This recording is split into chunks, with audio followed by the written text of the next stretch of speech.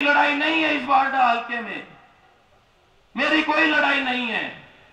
आज अगर ये लड़ाई है, ये अपने और पराये की लड़ाई है। ये इस बारडा हल्के की चौधर की लड़ाई है। इस बारडा हल्के की जो पगड़ी है, उसके मान सम्मान की लाज रखने की लड़ाई है। और साथियों, बुज़ुर्गों, इस पाँच साल के दौरान आपके बीच में रहते हुए आपके सम्मान को बढ़ाने का काम किया, परंतु फिर भी फिर भी अगर किसी साथी बुज़ुर्ग के, किसी भाई बंधु के, किसी प्रकार की कोई मुझसे तकलीफ़ हुई हो, कोई मेरे कारण से ठेस ठेस कहीं पहुँची हो, किसी प्रकार की कोई पीड़ा अगर हुई हो तो ये आपका अपना बेटा हूँ, मेरी रगों में खून आपका दौड़ता है, आप अपने घर पे ले जाके घेर के चार जूत मार लियो, गैरों से मरवाने का काम मत करना भाई, गैरों से मरवाने का काम मत करना। साथियों बुज़ुर्गों सीधी सीधी साफ़ सुथरी सी बात है कि जयफूट जयफूट पड़ जाएगी भाइया में, जयफूट पड़ जाएगी भाइया में तो रात चला जाएगा कसाइया में, रात चला जाएगा कसाइया। यह आपको तय करना है साथी बुज़ुर्गों कि अब आने वाला समय हमारी इस वार्डा विधानसभा का कैसा हो? इस हरियाणा प्रदेश की छत्तीस बिरादरी की जनता ने यह मन बना लिया है, तय कर दिया है कि भारतीय जनता पार्टी की सरकार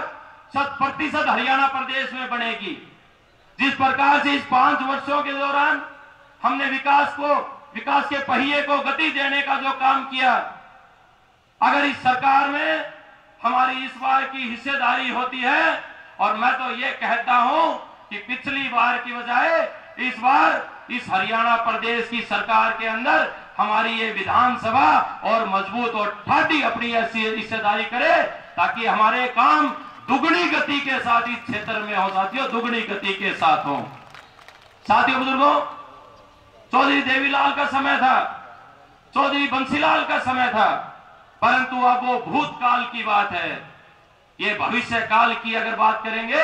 तो भविष्य काल में चौधरी देवीलाल, चौधरी बंसीलाल नहीं मनोहर लाल जी हैं मनोहर लाल जी साथियों। ये तय आपको करना है, जिस व्यक्ति ने इस हरियाणा प्रदेश को, इस हरियाणा प्रदेश की नब्बे की नब्बे विधानसभाओं को एक मानकर, एक नज़र से देखते हुए, सबके सम्मान को और प्रत्येक व्यक्ति के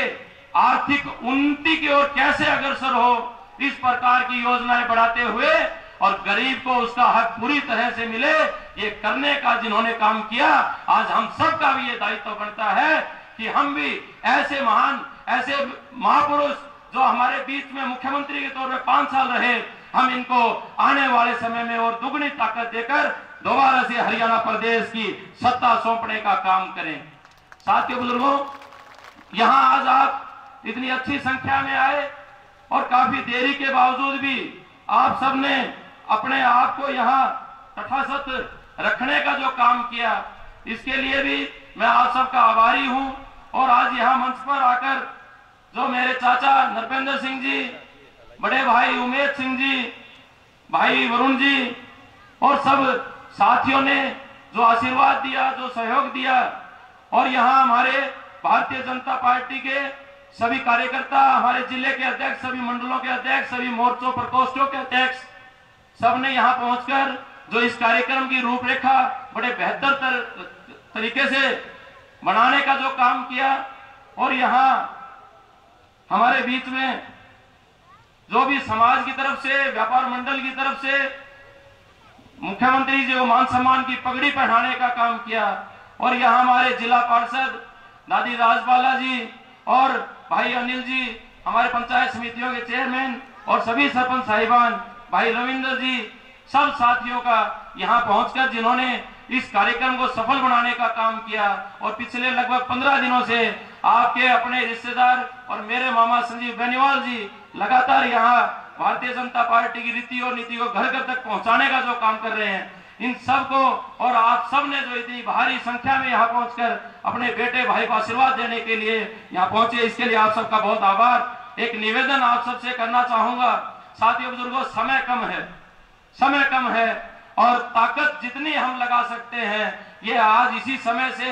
हमें ये तय करना होगा कि आज आपका ये बेटा भाई किसी भी प्रकार से आप इसे अकेला मत पढ़ने दें, साथियों, अकेला मत पढ़ने दें। आपको यह तय करना होगा कि आज यहाँ से जाने के बाद आप सब अपने आप को सुखविंदर, अपने आप को मनोहर लाल अपने आप को नरेंद्र मोदी, अपने आप को भारतीय जनता पार्टी का समर्पित कार्यकर्ता बनते हुए हर घर में हमें इन आने वाले दो दिनों तक पहुंचकर और जिस प्रकार से हमने काम किया है और आगे जिस प्रकार से तेज़ी के साथ हम हमारे इस क्षेत्र के अंदर काम करेंगे, ये सब संदेश पहुँचाने का काम करें। साथियों, मैं आपको ये भरोसा दिलाता हूँ कि जिस प्रकार का स्नेह, आशीर्वाद आपने हमारी तीन पीढ़ियों के ऊपर रखने का काम किया है। आने वाले समय में आपने जो ये पौधा लगाया था, इस पौधे को अगर आप कटने नहीं देंगे, इस पौधे को लगातार सींचने का अगर काम करेंगे तो ये पौधा आपको लगातार हमेशा हमेशा के लिए छांव देने का काम करेगा। साथियों,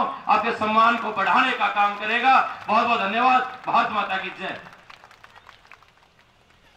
जोरदार तालियाँ। इंतज़ार की घड़ियाँ खत्म। मैं अनुरोध करता हूँ, रोहतक ज़िले के गाँव बनियाणी में एक साधारण किसान परिवार में पैदा हुए एक किसान के पुत्र, जिन्होंने पिछले पाँच साल में इस हरियाणा की दशा और दिशा को बदलने का काम किया। बिना पर्ची, बिना खर्ची वाले ऐसे हमारे मुख्यमंत्री महोदय आदरणीय मनोहर लाल जी, इस सरदारी को संबोधित करें, इस जन समूह को संबोधित करें। एक बार खड़े होकर जोरदार तालियों के साथ आदरणीय मुख्यमंत्री महोदय जी का स्वागत, अभिनंदन।